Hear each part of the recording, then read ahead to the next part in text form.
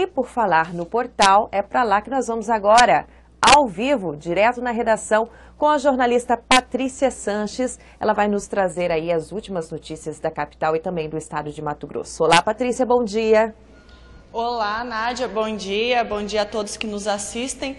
Pois bem, hoje nós trouxemos uma reportagem agora no site RD News que promete causar bastante debate aí nos bastidores e também nas discussões em relação a possíveis fusões de secretarias no governo eleito de Pedro Tax. Por quê? Alguns membros aí da cultura têm alegado que o Estado deve perder recursos caso haja mesmo a fusão da pasta de cultura com alguma outra. Eis que o Ministério da Cultura afirmou que não. Até 2020 será aceita então fundações, fusões, autarquias, enfim, cai por terra um dos principais argumentos para a manutenção da Secretaria de Cultura, Nádia.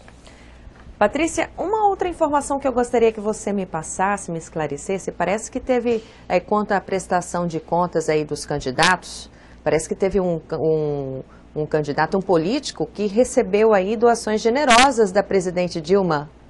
Explica para mim isso.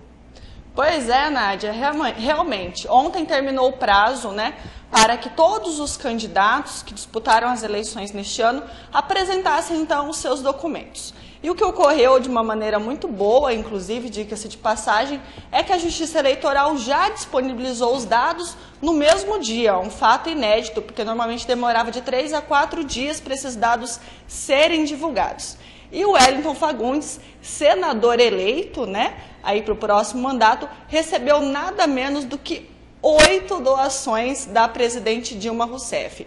Outro dado que chamou a atenção das prestações de conta foi o fato da contrapartida de Lúdio Cabral, que era candidato do PT ao governo, não ter recebido nenhuma doação da presidente, apesar de ter recebido doações da Executiva Nacional do PT e também do Comitê de Dilma, né? Ele fechou aí com um déficit de quase 3 milhões de reais as suas contas, e já o eleito Pedro Tax chegou praticamente no limite que ele havia proposto aí para a Justiça Eleitoral. Havia dito que gastaria em torno de 30 milhões e gastou cerca de 29,5 milhões, ou seja, quase bateu no teto.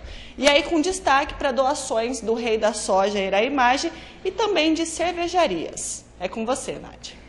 Ok, Patrícia, muito obrigada. Um bom dia para você. E se você quiser ficar bem informado, já sabe, pode acessar o nosso site rdnews.com.br